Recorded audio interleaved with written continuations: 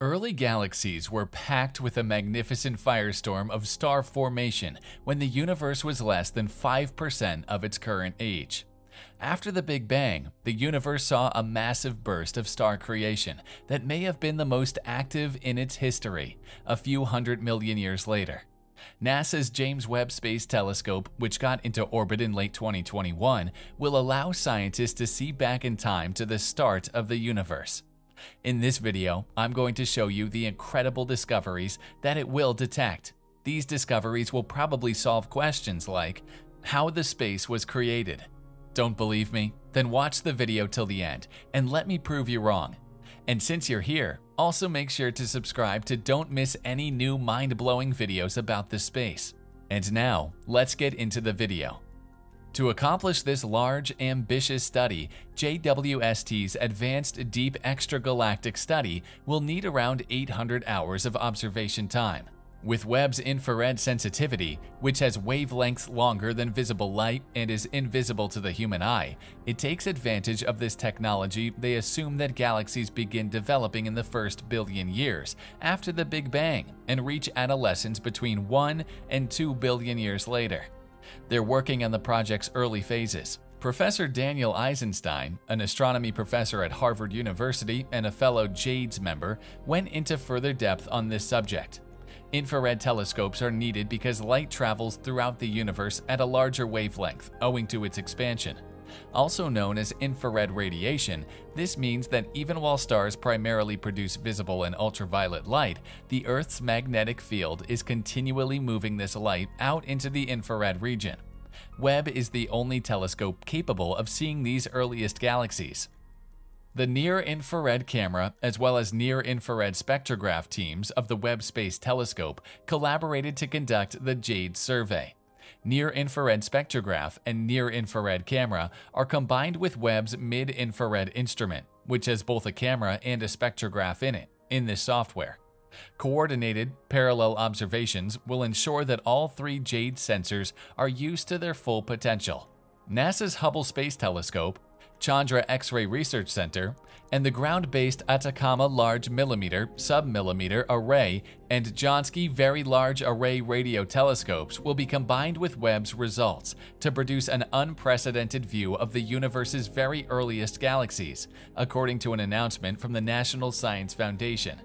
A comprehensive image of galaxies may be obtained by seeing them in all of their many wavelengths, which will enable scientists to examine the light emitted by the galaxy's stars, as well as the dust and interstellar medium and the supermassive black holes presumed to be hidden inside them.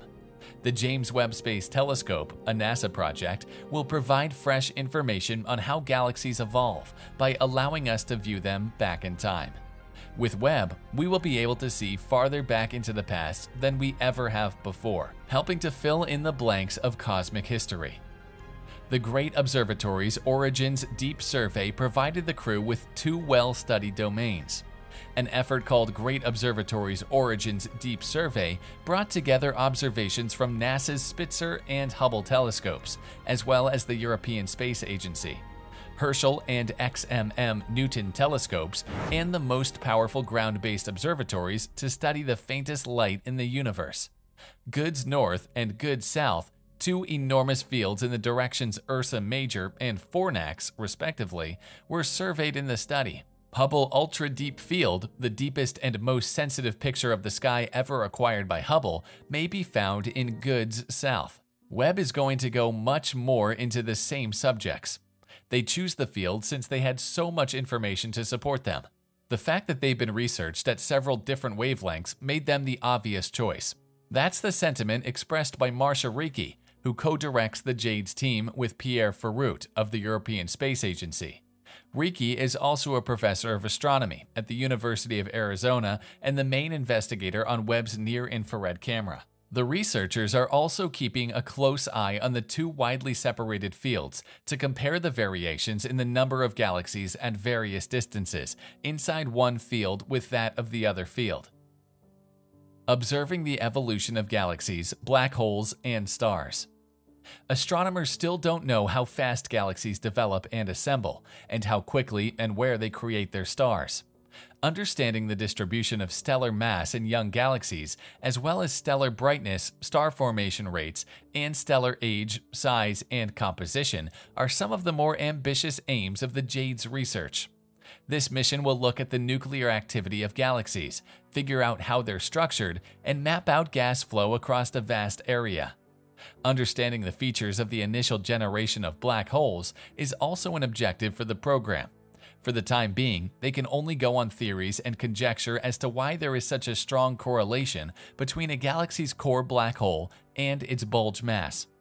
The JADES team aims to shed light on this relationship's underlying dynamics.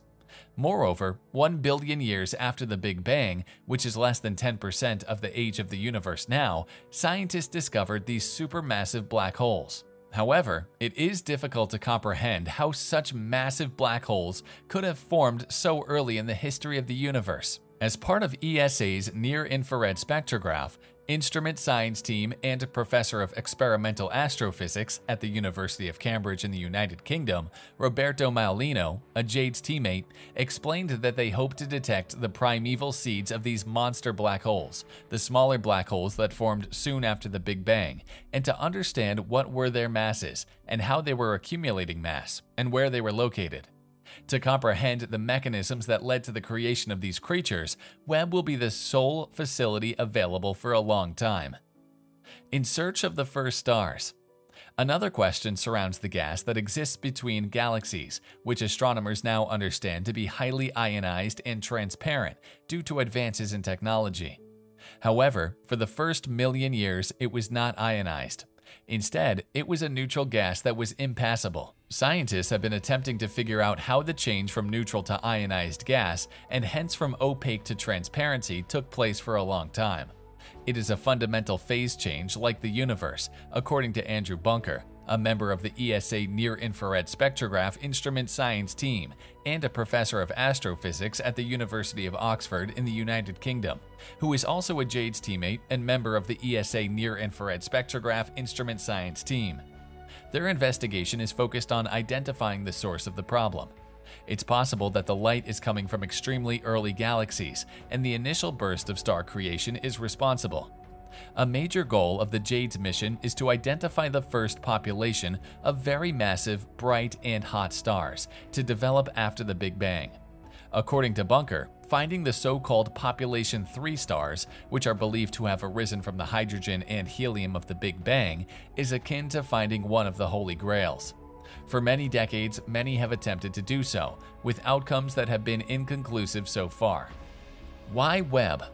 Because its light is altered beyond optical wavelengths, the JADES team's targets at vast distances seem tiny and dull to the naked eye.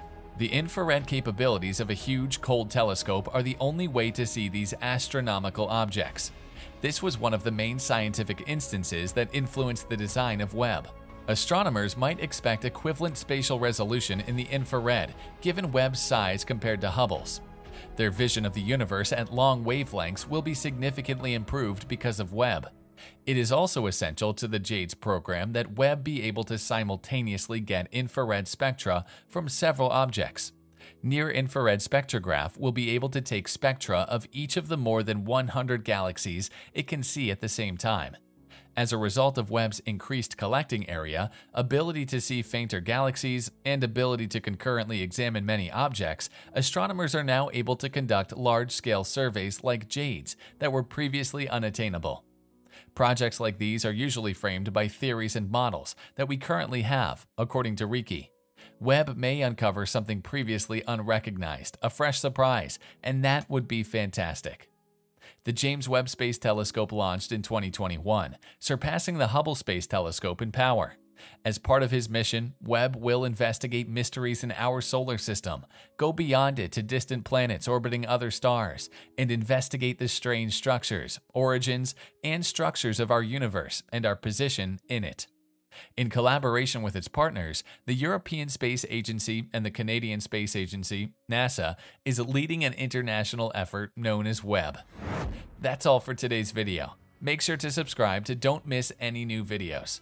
Also, have you heard of the James Webb Telescope fascinating discoveries about quasars? If this sounds interesting to you, click the video on your screen and I will see you there.